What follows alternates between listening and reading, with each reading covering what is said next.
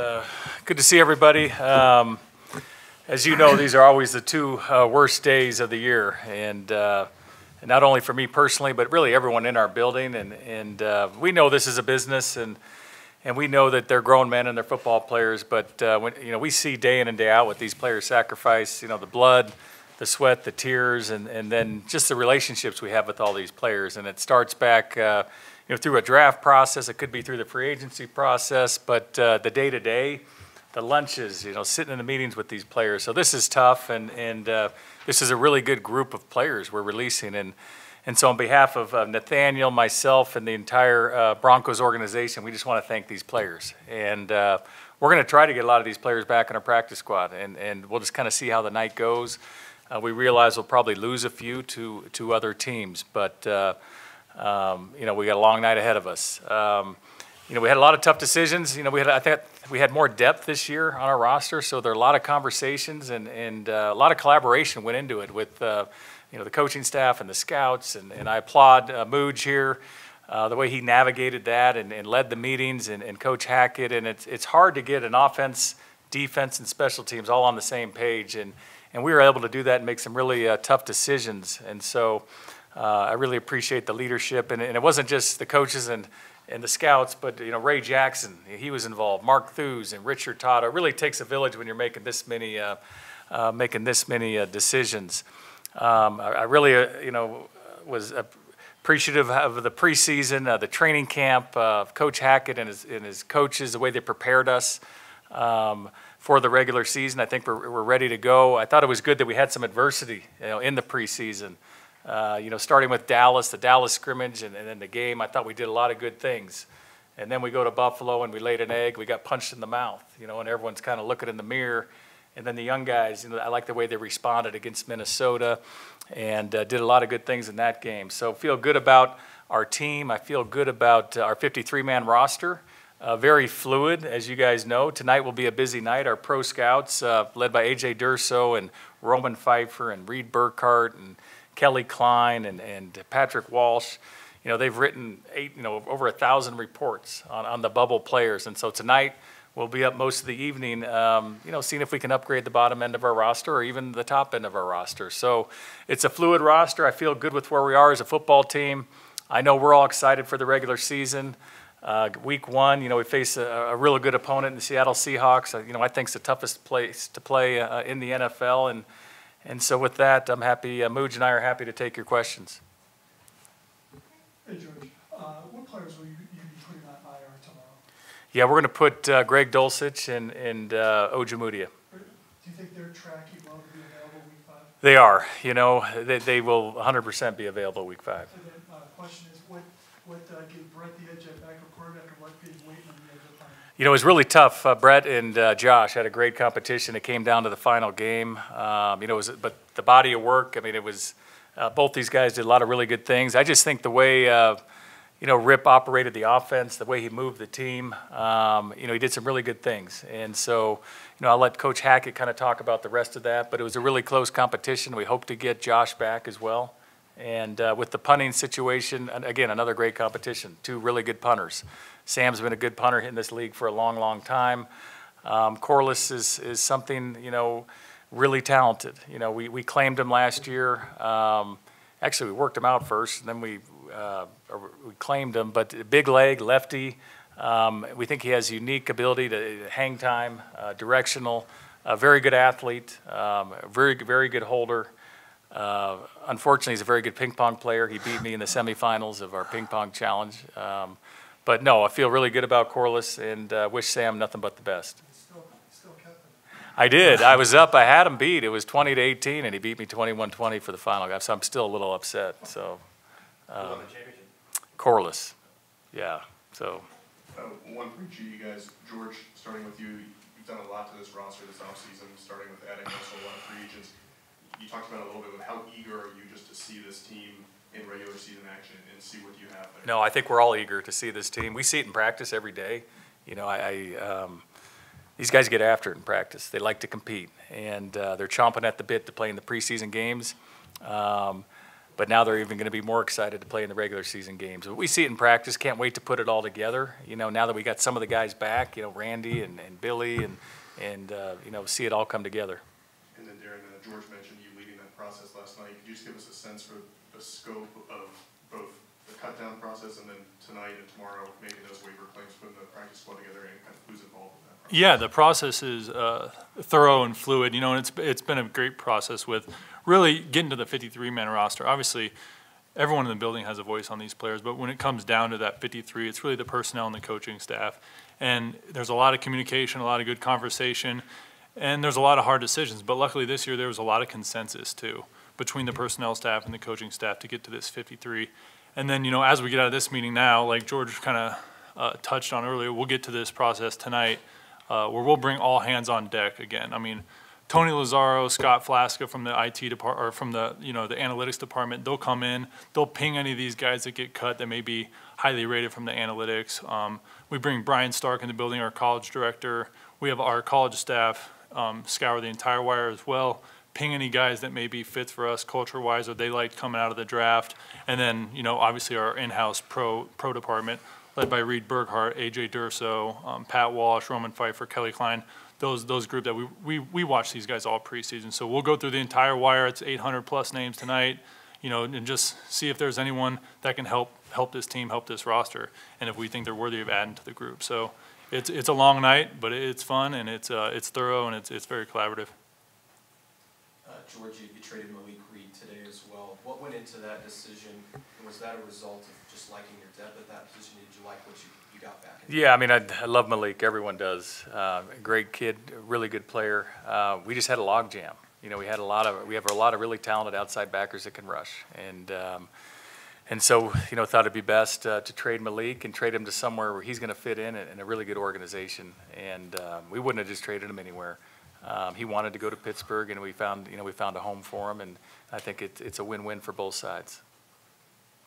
George, as the roster construction has evolved, or I guess roster limit and practice squad, is maybe one of the net benefits from COVID is the growth there. How nice has that been, so you to keep more of your guys around and, and, you know, let them grow and and become? Yeah, it's really good. And not only to keep your own, but to bring other guys you don't know as well that maybe have some talent, and you bring them in. You can try them out for a couple weeks, and you hit on a guy maybe like that. But no, it's great uh, when you can keep guys you like, more of them, and uh, and we still can elevate players. You know, I think each player gets uh, three elevations, and so that gives you a little roster flexibility, which we all love. So. I have one for George, one for Dan, but George, you, are you a little thin in the defensive line still? I don't think we're thin. I mean, we have, we kept six. We like all six. Uh, we're hoping to get a few through on the practice squad. Uh, we don't think we're thin. We think we're really strong up there. And then Darren, I remember you as an undrafted player. Did, did any of those experiences influence you, how you handle guys? Yeah, absolutely. I mean, it's never easy cutting guys. This is this is the toughest day, you know, of the year, and I'm sensitive to that. You know, having been cut twice, but a lot of these guys, you know, they understand the business, and I always point to examples. We've got guys on this team that have been cut multiple times or been on practice squads. You know, you look at Tim Patrick's, Mike Purcell's. These are guys that have been through it. So I always point to those examples. Really keep it positive, and you know, now we get the big, the big, uh, bigger practice squad. So we like to bring those guys back. Just need more time to develop. So. I have two first ones for George. George, did, how, how much did money play into, uh, the, the factor of choosing Corliss over Sam? It had nothing to do with it. You know, we, we, we picked the punter, the best punter for us, uh, Corliss, and uh, the punter with the most upside, biggest leg, and uh, money had nothing to do with it. And then Darren, along those lines, how do economics and, and the money factors play into these cuts and how tough is that to weigh? There's a lot of factors that go into the cuts, you know, whether it's the economics, the medical, and we have a, a team that's all part of those discussions. But at the end of the day, I mean, we're, we're picking the best players that are gonna help us win. I mean, we have plenty of cap room to do what we need to do. We're not gonna get rid of a good player that could help us win, you know, for a, a, you know, for, for money. Absolutely. Hey, George, um, I, I was curious, um, you know, Russell didn't get any game snaps in the preseason, and a lot of your starters did not. Um, sometimes when teams have done that, you know, September's a little bit of a feeling out process and a- an extension of training camp. Can, can you just speak to the challenges of, um, you know, keeping your starters, especially Russ? Yeah, no.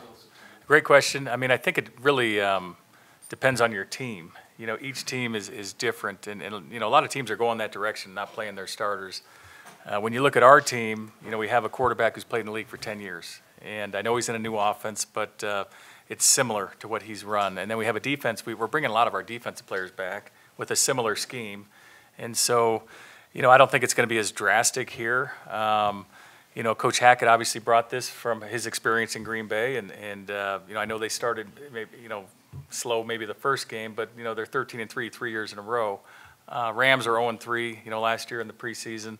Um, so I think it just depends on your team and your makeup, and, and, uh, you know, I, I think it's, uh, you know, preseason is a, is a great, uh, uh, developmental for the younger players, great evaluation tool for us, for the younger players and, and for the league. Um, we got a lot of work, you know, in our practices. Our players got after it. You know, uh, we had the Dallas scrimmage, but other than that, these guys, when they worked, uh, they worked. I think it's important for them to be fresh, you know, for this, you know, 17-game journey that they're about to embark on. I think that's more important, and, and I was completely on board with Coach Hackett. One, one quick follow-up. Um, how, how valuable did you, given that philosophy, do you think that one day of a joint practice? We loved it. We're going to do it more and more in the future, and, and uh, maybe, you know, with two teams. But it, it was great. Uh, You know, when you're, you you get sick of going against each other. I'm sure you talk to our players, so when you have a new team come in, it raises uh, the juice of, of the entire, you know, the practice, definitely. Yeah, I got two guys. Uh, first one, we saw Dulcich here and there, but what's going on there? Yeah. It's, you know, hamstrings are strange, Mike. And, uh, you know, he was really close to coming back, and then, you know, he tweaked it. Um, I wouldn't call it a setback, but he just can't get over that hump. And, you know, he thinks he could probably be ready, you know, maybe in a week or two, but we don't, you know, I've said this a number of times, we want to protect him from himself. And, uh, and so we're going to do that. We're going to, we're going to take the conservative route, which we like to do with these type of injuries, and he's going to help us win a lot of football games this year. He'll be ready, you know, after those four games are up, and, and in the meantime, he'll be training, and you guys see him working. Um, um, so we look forward to getting him back. And then secondly, uh, just on the undrafted, you kept that run going with uh, Jalen Virgil. Brandon Johnson, he, he had a tough break, and, uh, and Virgil, you went with speed. You got a lot of uh, speed at the back end of the receiver. Yeah, I mean, I think you need speed in this league, and uh, you know Virgil obviously provides that. Um, you know, he, this guy every game he made plays, and he made you know made plays every practice. Um, he can cover kicks. He's an interesting guy. He can return kicks. Really good returner in college. Um, he's just answered you know every test and and, and aced it. So, um, and he's got legit speed. You know, he can take the top off. So we're excited for him. And Brandon Johnson. Uh, Brandon was just a pro the minute he walked in the door, you know, and I don't know if it comes from his dad, you know, being a professional baseball player, but, uh, you know, he reminded me of a third, four-year pro, uh, long, athletic, um, can get in and out of his cuts, and, and again, it wasn't too big for him. A lot of these kids, when they walked in, uh, it's too big. Guys like he and Montrell and Virgil, it's pretty unique to have these guys uh, just walk in the door and they act like they belong. George, question for you. What do you think with Billy Turner? Do you believe he will be ready then? There's no movement? I do. I'm encouraged with Billy, and we're you know the strides he's taken in the last couple of weeks, and and um, you know I think I, I do. I think he has a good chance to be ready. I know he wants to play. That's his goal. If not, we feel good with our depth. But uh, I think Billy's right on track. Also, Damarri Mathis made a push, he played well in preseason at corner. Do you feel you're covered there, though? If, if, because Darby and K-1 have missed games throughout their career. I mean, we have five corners. That's typically what teams, you know, five or six. And uh, I feel good. I mean, we got a good mix of, of, of uh, veteran and younger players, you, you know, and, and uh, Darb and K1 are the kind of the veteran, and, and really, you know, Pat's really a vet. He's a second-year vet. And then you have this young, really talented kid, uh, Damarri Mathis, and I, and I think he's ready to go if he has to play. And, and then you got Bass, who's kind of, he can do everything. You know, he can play inside, he can play outside, he played a little safety. And then we'll kind of see what we get on our practice squad. We'll see what we find on the wire. I mean, you know, we're always looking. Hey George, two for you. Uh, Tyrie Cleveland, so he's not going on IR, so I assume He's not. feel good about the throat and maybe you're ready for week one. We do, we do. Yeah, I think he's, you know, I think he's, he's just about back. I can't, I can't remember what day he's coming back, but uh, we feel he's, he's ready. And then Mike Purcell, not on the initial fifty-three, but do you expect to resign? Mike, yeah, that was uh, just procedural. We have to hold these IR guys until tomorrow. So Purcell and Tomlinson, a big part of what we're doing. Mike's one of our core guys. You know, we didn't play him in the preseason, and, and uh, they're going to be here. They're doing a favor for the team. They're taking one for the team. Uh, George, just a follow-up on, on Brandon Johnson, did he have, he told us it was a sprained ankle, is it more extensive than that, or? You know, I think he had a high ankle, you know, and, and uh, so it's, it's gonna take a little time. And, uh, you know, so we, we're, we're looking forward to getting him back.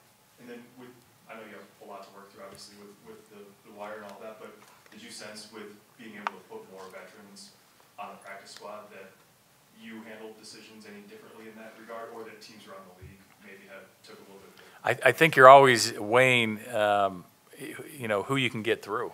You know, can you get this guy, you know, maybe you keep a guy you don't think you can get through, if, if it's even, right? You know, and, and how do you know that? You just, you have a feel, you have an instinct. Um, you know, younger guys, you know, that, uh, you know, maybe have a cheaper contracts are harder to get through, you know, and so you just kind of weigh that, and it doesn't mean you're always right. But a lot of conversations, can we get this guy through? Can we get this guy through? I think we can, so let's, okay, uh, let's, let's, let's cut him and keep someone else, so. And then to elaborate on just the sixteen-man practice squad and the vet stuff, there's a fine line of like, are you just gonna, you can only carry so many vets to begin with, but then, you know, are you gonna use those spots to just get a bunch of vet-type players or kind of developmental young guys that need time? They may be a year or so away, so we kind of weigh that balance internally as well with, hey, this guy's a year or so away, but there's some developmental traits there, keep him around, okay, we need a vet at, a vet backup at this spot, let's get a vet practice squad player. Yeah, maybe if you're light on the fifty-three at a certain position, you want a vet at that practice squad position, you know, and then uh, other positions you're deeper, you can afford to have a developmental guy, Yep. you know, throughout for the year. And, uh, so it's just roster, you know. Roster management, case by case. I got uh, one for each of you. Mooj, how, I guess gratifying is it to have eight of your nine draft picks make the initial roster? No, it feels good. You know, every time we draft a guy, we put a lot of effort into it and, you know, anticipate those guys contributing. And, you know, with the one guy Faion, that was another tough cut for us. And, you know, that's just day one of the 53. We could call on Faion in a week. You never know. So, but we do feel good about the eight of the nine contributing. And, uh, you know, I'm not surprised. Those guys are all, have all worked really hard and, and uh, earned that spot. And, and George, you sort of touched on it when Arnie was asking about Coach Hackett playing starters in the preseason, but as he was presenting his whole idea with regen days and, and kind Yeah. of his entire approach, was there any pushback or was there just like, okay, let's see how, let's have that go? No, we talked it through. I mean, Nate has a plan. And he didn't just, this is not something he just came up with. I mean, he, he thinks everything through. He has a plan. He uses the data, uses sports science. He listens to a lot of people. He's very collaborative. So it wasn't just like one little conversation. Um, you know, Nate's very prepared in everything he does. And, and, uh, so I really respect it. I, I liked his plan for the training camp. I think it'll benefit us. And, uh, you know, whether we start slow or not, I do not know. But I think, you know, mid to late season, I think it'll benefit us. One for each of you. First for George. Uh, Were you hoping to get more draft picks and more trades done in the last 48 hours since a few months ago you said you wanted a lot more picks next year than the five you had? You know, um, you always want to get picks, right? But you, you also want to keep your best players. And so, you know, we had opportunities to trade players, but we, we also want to win now. You know, we want to win this year. And so, um, yeah, yeah there, there's a, a fine line, you know, just getting picks to get picks. But uh, we also want to win games. But uh, yeah, no, we're, anytime we can get a pick, we will. You know, we did move up a little bit. That doesn't count as a pick, but uh, it's still a trade. But we'll see. I mean, it's a long, we got a ways to go. And Darren, you mentioned earlier that there was a lot of consensus between personnel and coaches. So for those of us not in the kind of, what is that like when you guys are kind of on the same page with those departments compared to maybe some years where personnel and coaches aren't quite seeing eye? It's good. It feels good. And, you know, we try and we do, we do a process and, and, um, you know, where we try and kind of keep it separate, where us personnel guys come up with the fifty-three, have discussions separate from the coaches, because we don't want to create this group think, right? But we do our process, they do theirs, and we come to the table at the end, and when the fifty-three aligns, and there's a lot of consensus, it, it does feel good. And where there's s- some maybe toss-up, even then it was kind of like, yeah, we, we were st- stuck here too, these, and we just talked through it, we had the conversations, um, you know, take all the variables in, but it was pretty smooth and, and, uh, pretty easy. Never easy making the cuts, but in terms of us coming together, it was really good. I just want to ask you both about mediating that process between coaches who are passionate about certain players and decisions you have to make. And can you talk about, both of you, anybody who's a little more colorful, someone else? It's, it's not as colorful as you think. I mean, it's just uh, a lot of really good conversation, and we've had these conversations throughout, training camp, you know, after every game, we meet for about three hours, you know, the next, on a, you know, all our games are on Sa- Saturday, we meet on Sunday for three hours, a total deep dive on how they played, where they are, um, and then after that, we'll kind of do an initial fifty-three. So we didn't have our first fifty-three meeting yesterday. Now, there'll be some tough questions, you know, why did you rank this guy here? You know, why did you rank this guy here? Last week you had him here. So it's not all fun and games, and there, you know, you ask tough questions, and, and that's what it's all about, but very respectful.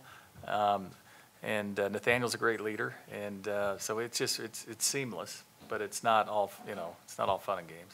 Yeah, and I wouldn't just say the coaches. There's a lot of scouts that are passionate about these players too, um, and we feel that. And it's everyone understands where everyone's coming from, but it is a good collaborative process. There is some passion on both sides of the table, but we all we're all in it for the good, and it's worked out really well. How the, how the guys do, you had look at other teams. Did you have uh, people look at other teams to be the GM? Oh, yeah, no, they did great. So our, our, um, our pro scouting staff, uh, led by, uh, Reed Burckhardt, you know, they, they meet, they met Friday, and they met for three hours, four hours together with our college scouts via Zoom, and they came up with their fifty-three and their sixteen-man practice squad. And uh, they were the, Reed and, and AJ Durso were the GMs, and then we came in, they presented. And, uh, and so it was cool, you know, a totally, um, objective opinion, you know, without us in the room, and, and uh, they presented it, and I kind of laughed, and, no, I'm kidding. I- We can't do that, you know, but no, it was really good, and it, you know, gives them um, ownership. And uh, they had, they had ideas that maybe I didn't think about, or Mooj didn't Yeah. think about, and so it's really cool. And then the coaches come in with their fifty-three, and then we kind of laugh again, no, we don't laugh, but uh, it's, uh, so it's really good process. Yeah, having that a part of our process is really good too, on the personnel side, just because a lot of those college scouts will have what I kind of call like clean eyes or unbiased eyes, where we have a lot of discussion, like George mentioned, with the staff every day, so there naturally might create some, you know, everyone's going down a path where our college, college scouts who aren't in the building hearing all the conversation, when they're just watching with clean eyes, they might rank it different. So it's really, it's a really good practice for us to kind of lead to those discussions and debates. Um, but yeah, we feel really good about it. Final two, we'll do Mark and then Nick Cockletter. This is for George. Now that you've seen this rookie class get to work for, what, four months now, um, how much do you think this class can help you win this year, to use your term, and where are you most excited about?